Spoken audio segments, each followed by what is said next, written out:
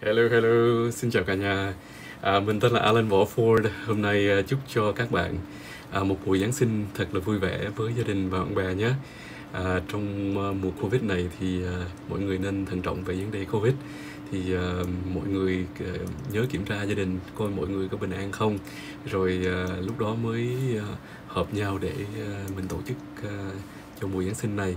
Nhưng mà tốt hơn thì uh, phải biết mọi người là khỏe rồi mới gặp nhau nha. Cái đó điều đó quan trọng nhất mình không muốn là uh, một người bị bệnh là lây hết cho cả cả gia đình hoặc là bạn bè của mình. Ok uh, nhớ thử nghiệm uh, cho mình make sure mình không có bị dương tính uh, bởi covid 19 nha. Rồi uh, chúc mọi người có một mùa giáng sinh thật vui uh, và hạnh phúc với gia đình. Và chúc năm mới năm 2021 à, mọi người được an khang thịnh vượng và làm ăn thật khá hơn là năm nay. À, năm nay thì có nhiều à, tai biến trong cái mùa covid.